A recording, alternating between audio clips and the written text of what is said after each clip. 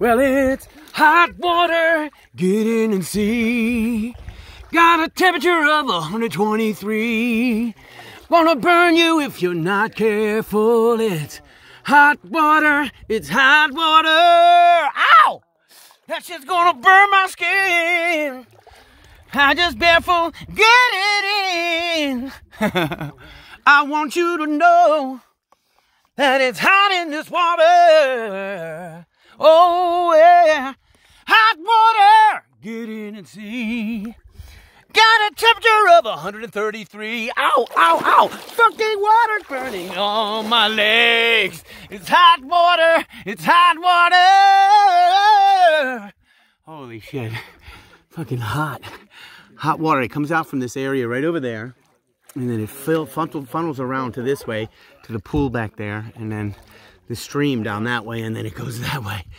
It's unbelievable. This is nature's miracle. This is evidence of the incredible amount of water that is beneath the earth's surface. This is called primary water that comes up. It's the first water that comes out of the earth, pushed up by the heat in, uh, uh, deep, deep down in the earth's core. There's an ocean of water down there, bigger, I believe, than our ocean that's outside. And that, that ocean also has lots of hot water that's funneled into it from its floor as well. But here in the center of the desert where there's no water anywhere. There's barely any rain and there's very little plant life except for right here around the water. This is the incredible miracle of the incredibly nutrient dense, mineral dense water that's right here.